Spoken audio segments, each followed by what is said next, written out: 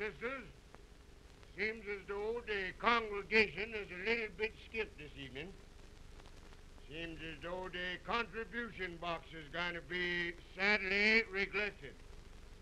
I got a few renouncements to make here this evening. I want to renounce that on next Tuesday evening, going to be a grand strawberry festival down to Sister Chickenfoot's house. I want all the brothers and sisters to come out. Come out and fetch on your own strawberries, cause times is very, very ticklish. If you ain't got no strawberries, fetch out a little corn, little gin, anything like that'll do. Small pints will be thankfully received in large quarts in proportion.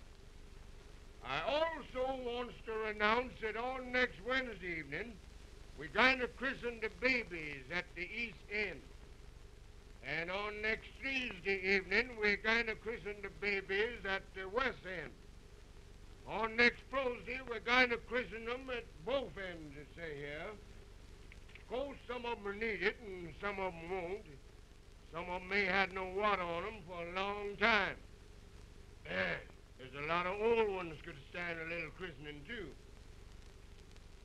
Looking down on page 222, we find here what it says A, B, C, D, F, G, H, I, J, K, L, M, N, O, P, Q, R, S, T, U, V, W, X, Y, Z.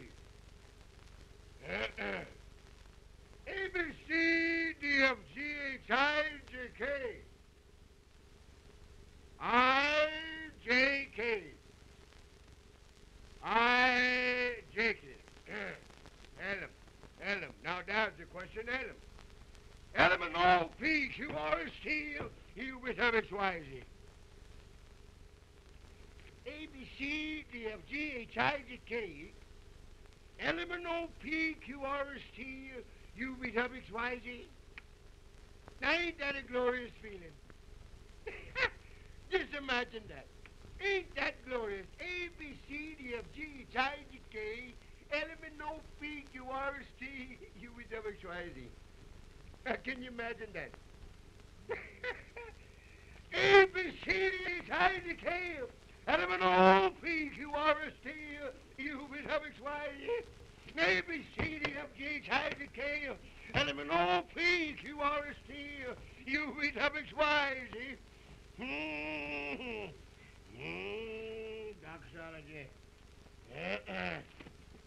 Well, sisters, I'll be seeing you some more.